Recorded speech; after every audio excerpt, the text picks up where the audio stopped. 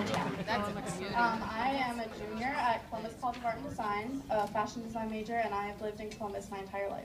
Okay. Okay, so Sarah, has this experience made you more or less interested in working in the fashion industry?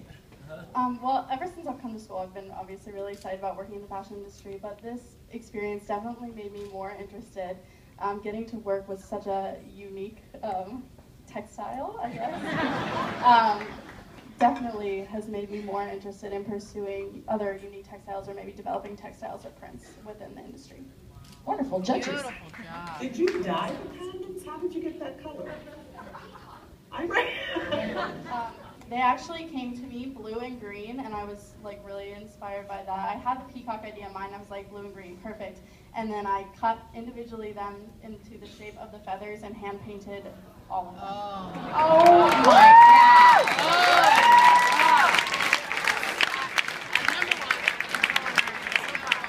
Anything else?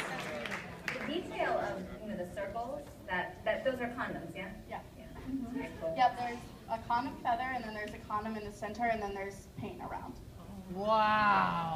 Very cool. Wonderful. Thank you so much. Next up, we have a designer